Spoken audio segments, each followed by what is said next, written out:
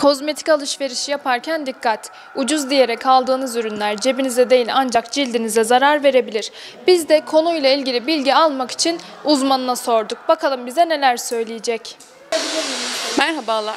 VIP Venüs Güzellik Merkezi işletmecisi Aysel Kılıç. Uzman estetisyen olarak işletmede bulunuyorum. Merhaba. Sahte kozmetik ürünleri neden tercih edilmemelidir? Neden? Çünkü içeriğinde bazı yabancı maddeler var. Dokuya zarar veren, e, epidermisi olumsuz şekilde etkileyen. Dokudaki komplikasyon oluşturmaması için analiz sonucu e, ve Sağlık Bakanlığı onaylı marka tescilli ürünleri tercih etmek daha sağlıklı olacak. Sağlık için. Peki bu ürünlerin sahte olduğunu nasıl anlayabiliriz? Ee, Şu anda birçok ürünü zaten e, bütün halkımız, ben halk dilinde konuşacağım çünkü, bütün halkımız biliyor zaten. Dolayısıyla hiç duyulmadık, hiç adı bilinmedik birçok ürün satılıyor piyasada ve çok uygun fiyatlara satılıyor. Sonrasında alerjik reak- reaksiyonlar, isiliktir, püstüldür ve bir takım sağlık problemleriyle hastamız tekrar geliyor. Bu ürünü kullandım, Aysel ne yapabilirim diye. Tabii ki biz bunun tedavisini yapan biri değiliz. Bunu da e, uzman hekimlerimize gönderiyoruz ama ürün seçiminin doğru doğrultuda olması gerekiyor. Bir uzman analizi ten tonunu tanıyacak ve kişinin cildine gidecek ürünler, e, makyaj malzemeleri anlamında söylüyorum.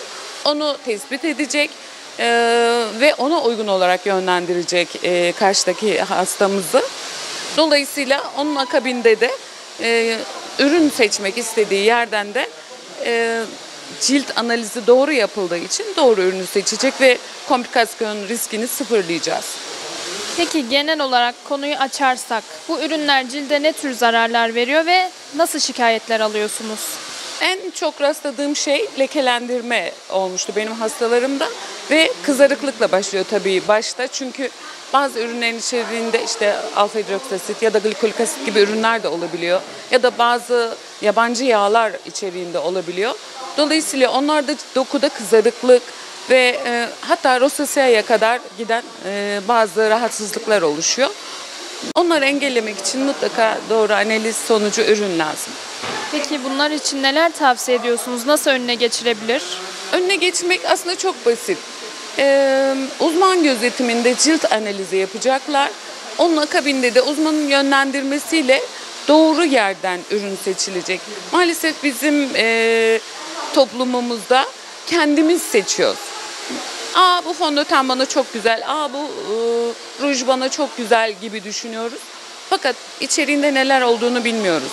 Cildimizin ten tonunu bilmiyoruz. Herkesin kendi ten tonu var çünkü. Sarı ton mu, pembe ton mu, kızıl ton mu? Hani bunların analizi doğru lazım. Ona uygun olarak da ürün seçimi sağlıklı olacak ve komplikasyonu biraz daha önüne geçmiş olacağız. Son olarak eklemek istediğim mutlaka bir uzman gözetiminde yapsınlar. Bu makyajı da e, kendine ait her şeyi. Çünkü şu anda e, analizler ücretsizdir. Cilt analizi uzmanın yaptığı işlem ücretsizdir.